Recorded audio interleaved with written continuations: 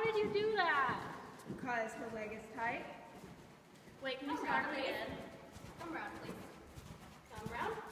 Good. Pull. Stop. Those stirrups, though. Yay, Karla. Do it again. Yeah. you do it again? Yes. Look at her leg. See how nice and tight it is? Thank you I'll for the demo. right in front of you. Tight leg. And he's gonna be easier now because I'm getting to it. Put your thumbs So up. he's gonna canter. Put your thumbs up.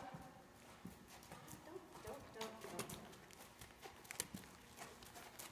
See where the leg is? That's his good spot. See how tight her inside leg is?